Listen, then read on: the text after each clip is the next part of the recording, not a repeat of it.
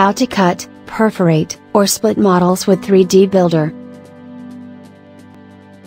Let's start by using the split tool. This tool generates a plane, where we will cut the model. We position the plane in the desired location. With Keep Top, we preserve the top part.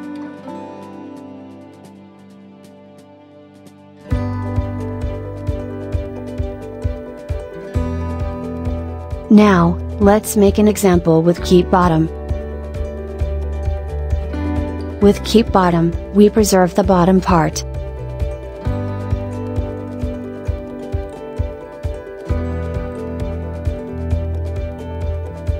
Now, let's make an example with Keep Both. With Keep Both, we preserve both parts. This would be all about the split tool. The problem of the split tool, is shown in the following example. When you try to cut only a specific part of the model. For example, to cut off a single ear of this rabbit.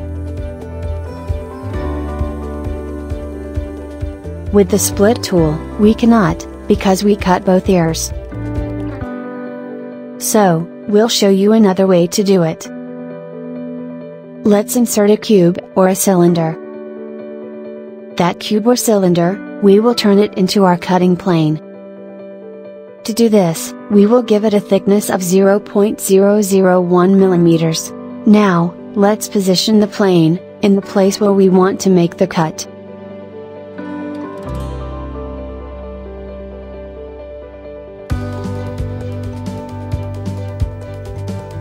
Then, we select the plane, and use the subtract tool we would already have the divided model.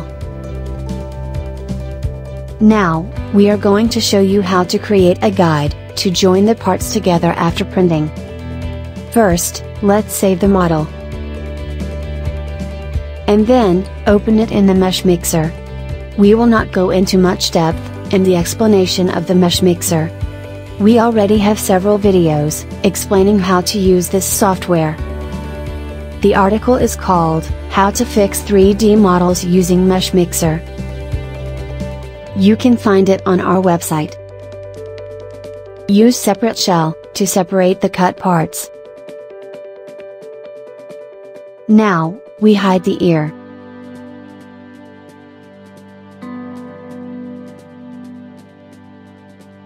Then, we insert a cube. This cube will serve as a cutting tool. We give it the necessary dimensions. And we put it in the right position.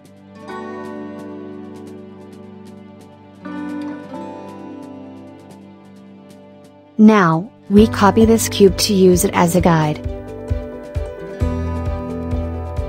And we move the guide cube, away from the model. We then scale the guide cube a little. We reduce its size a little, so that it fits easily into the hole.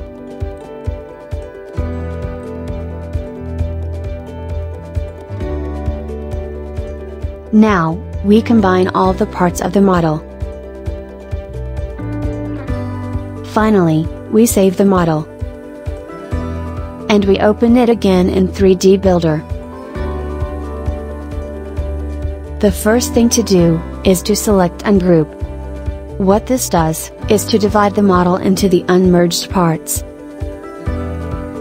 Let's set aside the guide cube.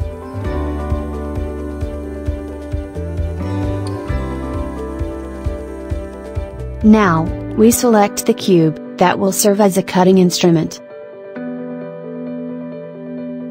And then, we click on the subtract tool. This will pierce the other objects, using the cube as a reference for that cut. Here, you can see the perforations made.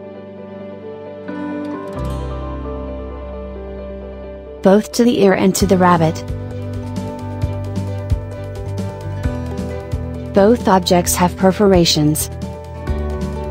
Remember that the function of the guide cube is to be able to join the divided parts after printing. This would be all. Now, let's do another example of perforating a model. First, let's hollow out the rabbit. This is explained in more detail in another video. The other video is titled, How to Hollow Out a Model with 3D Builder. Let's continue to the next step.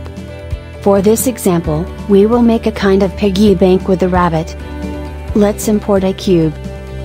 We adjust it to the desired size and position. Now we use the subtract tool. That's it, we would already have the perforation, and in turn, our piggy bank. This would be all, if you liked it, we appreciate a like and if you subscribe.